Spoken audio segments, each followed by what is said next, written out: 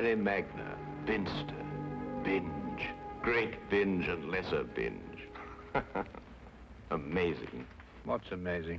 The names of our English villages, Watson.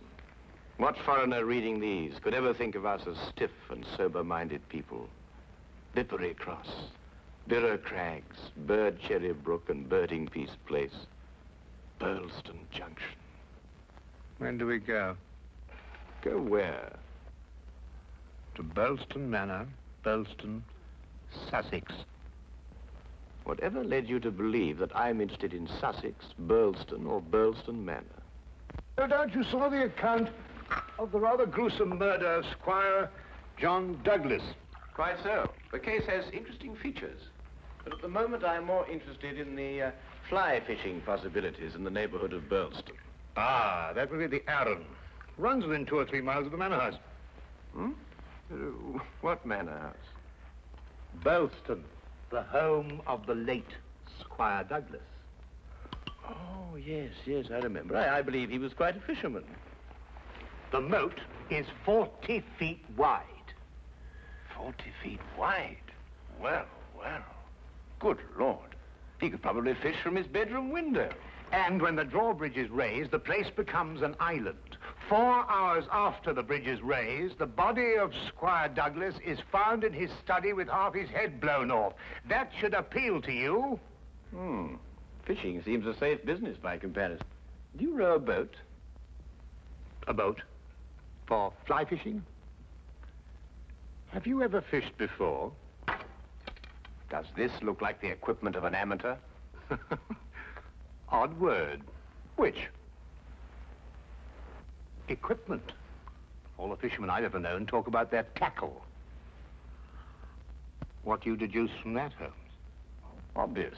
Your fishing friends either lack experience or vocabulary. We deep-sea fishermen are in the equipment class. None of your nasty little bundles. Yes, that gaff is far more suitable for a shark than a trout. Do you really think so? No good for trout? Well, it depends what trout you're after. Oh. Oh, yes. Yeah. Well, we must carry a tape measure. A tape measure? What on earth for? To measure our catch, of course. To measure our catch and throw back the little ones. A good rule in life, Watson. Always remember to throw back the little ones. You think our prey will count as a big one or a little one? Well, hardly as big as Squire Douglas lying dead in his castle, surrounded by his moat. Holmes, you've been analyzing this case. Well, you know, I haven't got enough data yet for analysis, really. Do you think it could be an accident? What, with a sawn-off shotgun? And the triggers of both barrels wired together? Murder, eh? Yes, possibly. What do you mean by possibly? Don't sit there, man. That may be opportunity knocking. Oh.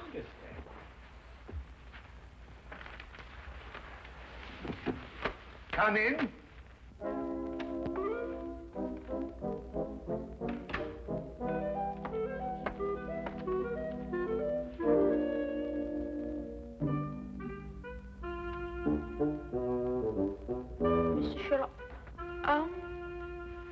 Fisherman. hold on. I'll tell him. Blimey. No, In there, boy. Hmm. It's only a little one. Would you like it, Watson?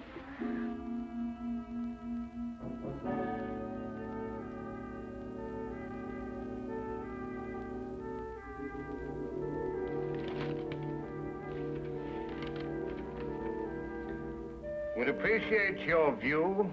Intriguing affair, Burlstone Manor.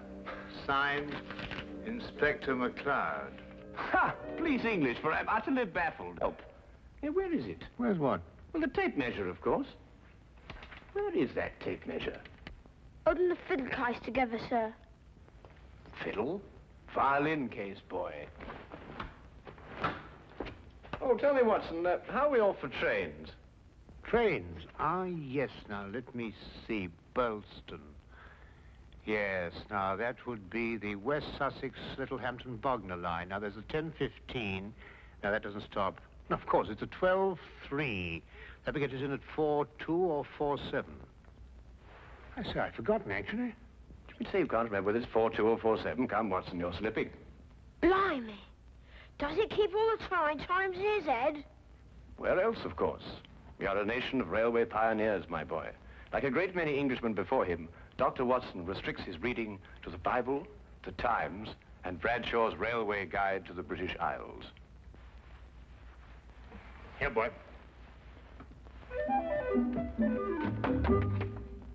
The March Hares, that's what you two are.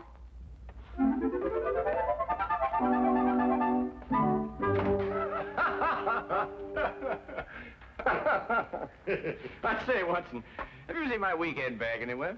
I suspect it's under the stairs. Mrs. Hudson got very tired of seeing it lying about. Oh, good. Well, that means it hasn't been unpacked anyway. I assume not. Excellent. Then everything is ready. Oh, be a good fellow, would you, and uh, dig out that bag and put it in the cab along with that uh, uh, tackle.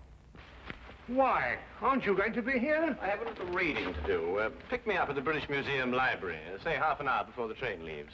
Now, look here, Holmes. This is no time to go reading. You'll miss the train. I cannot vouch for the punctuality of Dr. Watson or the reliability of the company's steam engines, but I, for one, propose to be at Burleston Halt at 4.2 p.m. precisely.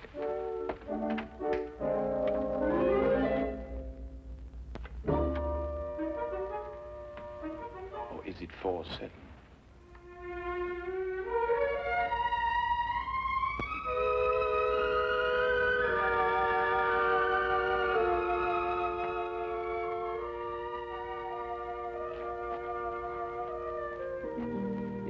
Nice piece of work, if I say so myself. The entire story hung on a spider's thread. A spider's thread. Exactly. Huh. Ah, it sounds interesting, Inspector. Now, perhaps you'll start at the beginning. Simply stated. The castle, as you see, has a moat. And when it's up, as it was at the time of the murder, it's a sealed fortress. Who was in the castle at the time of the crime? The murdered man's wife, Mrs. Douglas, and a foreign friend, John Morell. Just those two? And the servants. But we've been able to rule them out completely. Hmm. And from your description of the house, it would have to be one of them. Either Mrs. Douglas, or this friend of hers, Morel, or both of them. They tried to make it appear as though someone had broken into the house and then dived through the windows to swim the moat. But you disproved it. Completely. How? I'll tell you when we get there. This uh, murder weapon. A sawn-off shotgun, I believe. An odd weapon, that. And a foreign gun, too. Three letters on the barrel. P-E-N. Aha. A larger P with a flourish over it, followed by a smaller E and N. That's right. Ah, the Pennsylvania Small Arms Company, the famous American firm. That's perfect. That's all I need. You mean you need additional evidence? Well, Mr. Holmes, every little helps, you know. Then your case against Morel is not complete. It's complete as far as... How did you know Morel is the murderer? How did you know? He has to be. Why? He's the only one who could be. Suppose I were to tell you that Morel is not your murderer. How do you know? Yes, Holmes. How do you know? Why didn't you arrest him? Well, I... He doesn't act like a murderer. Ah, he's too self-confident, eh? That's right. Seems to be daring you to arrest him. Yes. How do you know all this? Holmes, do you know this man Morel? Fascinating. Fascinating. The case has suddenly assumed the most astounding proportions and the most astonishing challenge, Watson.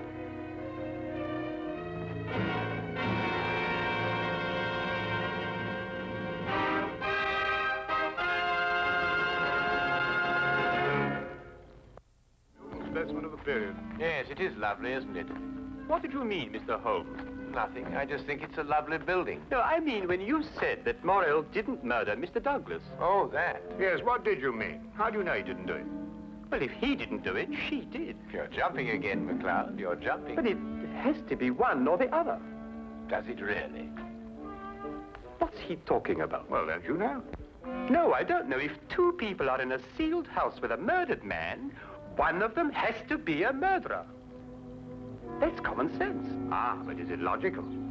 What do you mean? Is it logical? I don't know, but Holmes says that all the time. I was hoping you might be able to tell me.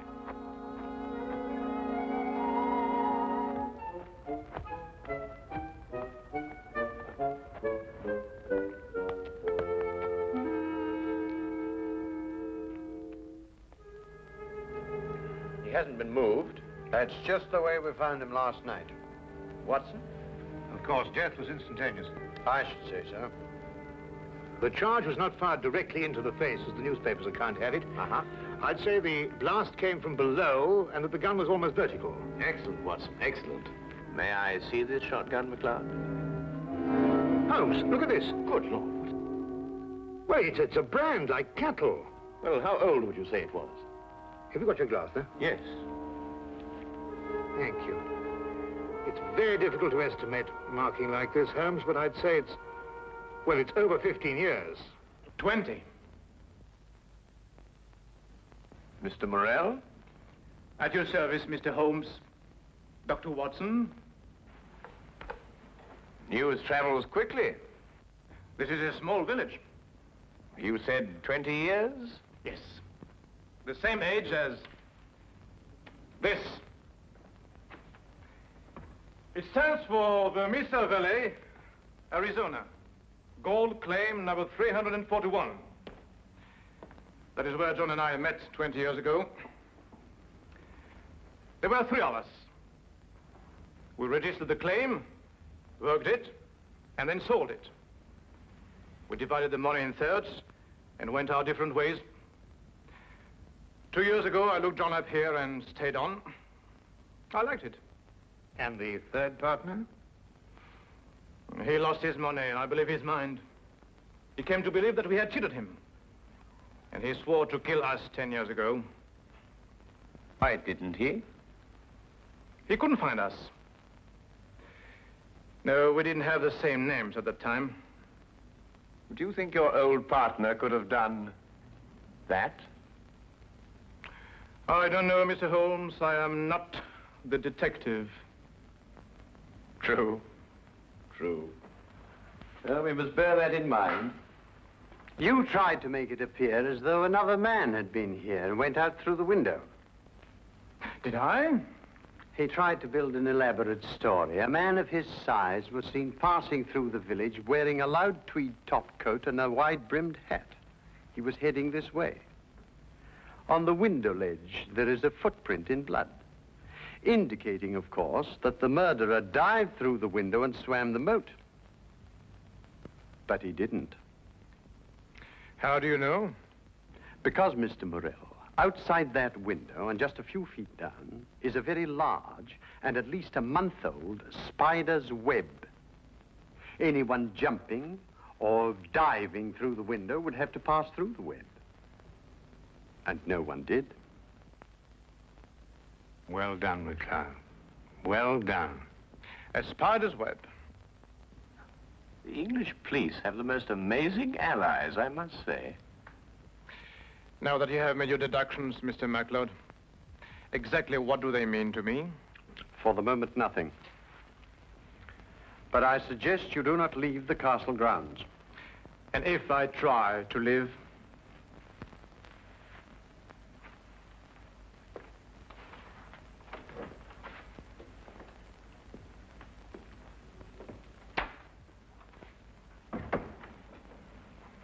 Well done, McLeod. You certainly got your man.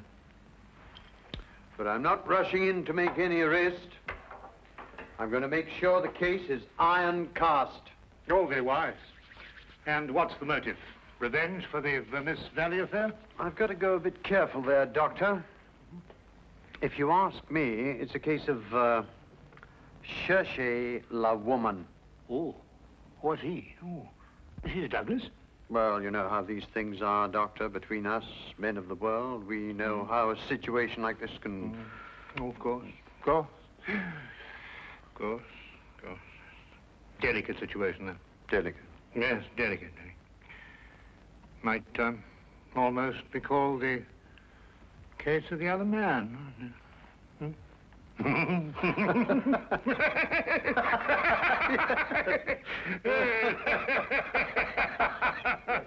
The other dumbbell. Who? Not who, what. What? That- That's right, what. What are you talking about? That. There's only one dumbbell. One dumbbell. That's right. Well, There's only one dumbbell, Watson. I know. That, that- that's it over there. Yes. Where's the other one? Well, I don't know. I've only just come here. Do you know where the other one is? What difference does it make? Well, that's right. Yes. What difference does it make? Maybe there is only one dumb uh, bell dumbbell. One dumbbell? But they come in twos. Perhaps he only had one. Watson, do you mean to tell me that you can stand there, surrounded by all these athletic trophies, and suggest to me that such a man would only use one dumbbell? Well, what difference does it make? Yes, what difference does it make? Huh.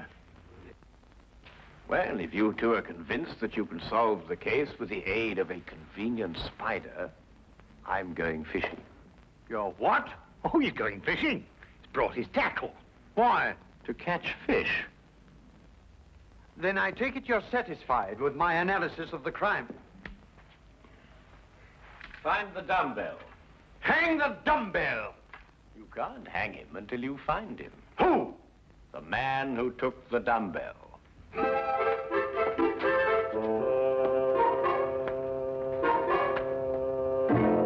gone too far now, Holmes. I think you've made him very angry. Then he should fish. It soothes the nerves. Are you really going to fish? I am. Where? Out of that window. It looks very comfortable. Well, what do you expect to catch? A herring. A red herring. May I have the tape measure, Watson? To measure a red herring? To measure the big red herrings. The little ones I plan to throw back. Holmes, you're up to something. I am. What? Would you like to help? Of course. Well, look. Take the good inspector down to the local pub and keep him there for at least an hour. While you fish for red herring. At the moment, I'm fishing for bait. I don't know what you're talking about, but I'll do it. Good. Remember, one hour. I may enjoy myself in the local and stay too.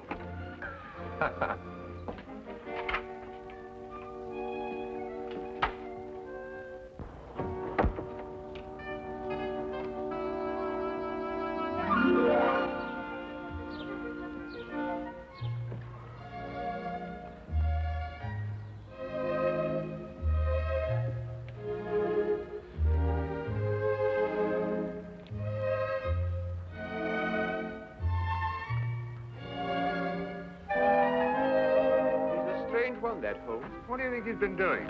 There's no guessing with him. For all we know, he may really have been fishing. Perhaps we should have given him more time. He's been an hour. That's all he asked for. Yes, that's right enough. Inspector McLeod?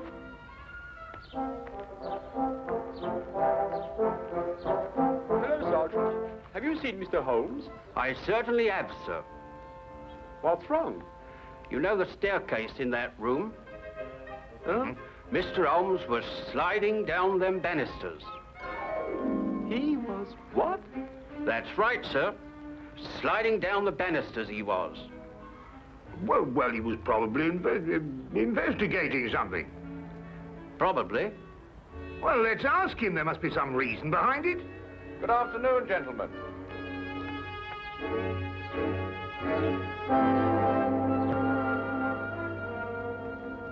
Go on. Ask him. Ask me what? Well? What have you been doing while we were away? Well, first I fished, No. and then I slid down the banisters. I told you. Why? Why not? Well, And you, Inspector McLeod, are going to drain the moat. I'm going to what? Drain the moat. Empty it right down to the bottom. I can't do that. That's a major engineering job. Don't you realize that's a real river that runs round the house? Well, in that case, don't drain the moat, but tell everyone you're going to. And then what? Then we'll all meet back here in an hour's time. and see if we can find somebody pulling something out of the moat. Exactly. What? Red herrings.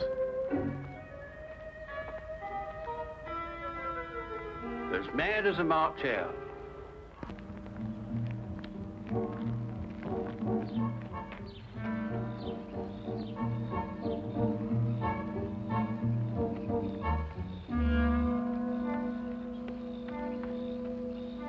How much longer? Not much. You're certain everyone believes they're going to drain the moat? I don't know who believes it, but everyone knows I said it.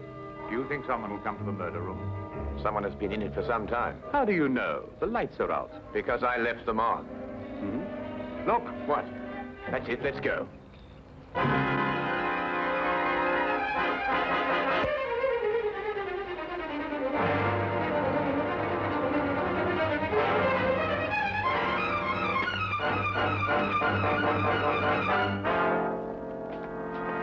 Oh, excuse me. What are you using for bait?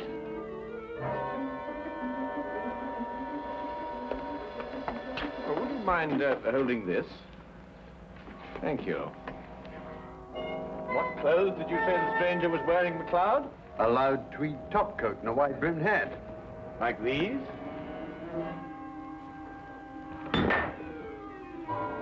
the dumbbell. Holmes, how did you know? When you're working near water, Watson, and a heavy object has disappeared, you may conclude, until you can prove otherwise, that it has been used to prevent some object from rising to the surface. All right, Morell. You're under arrest for the murder of John Douglas. It is my duty to warn you that anything you say may be taken down and used in evidence... No, against- no, no, McLeod. You haven't got it at all. What?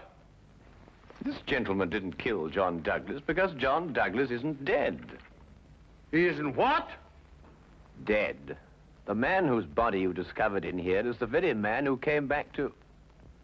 No, no, you're not with me, are you, McLeod? Now, would you tell him, please? These clothes belong to our third partner. The man who's been searching for you for ten years. Yes. He found us and arrived here with a shotgun. He and John struggled, and the shot went off. That explains the vertical angle of the blast. In the ensuing struggle, the gun went off. I heard the report and ran down immediately. I timed it from your room. Fifteen seconds if you run, and ten seconds if you slide down the banisters. I ran. I thought you would. John was panic-stricken when he saw what he had done. I got the idea to change their identities. But then where is Douglas? With the aid of my tape measure, I was able to ascertain that there is a hollow space behind that wall. I imagine it conceals a passage under the moat. Yes, Mr. Holmes, it does. And John has had a 36-hour head start. We'll stop him. I told him you would. I'll issue orders for the apprehension of Mr. Douglas, and we'll talk about your part in this, sir, in the morning. You have conspired to conceal evidence. I'll still be here in the morning, Inspector.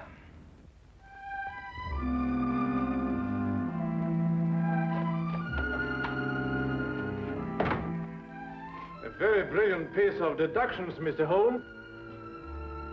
An excellent application of applied psychology.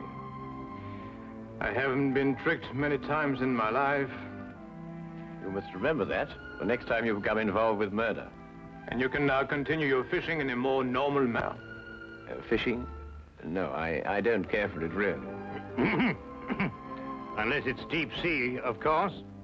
Uh, uh, yes, uh, yes, yes. Uh, but in the absence of an ocean in the immediate vicinity, I think we'd better start back to Baker Street immediately. Well, now, there's a 9.13 or a 10.23. The 10.23 will hold us up at Tunbridge quite a while. Wait?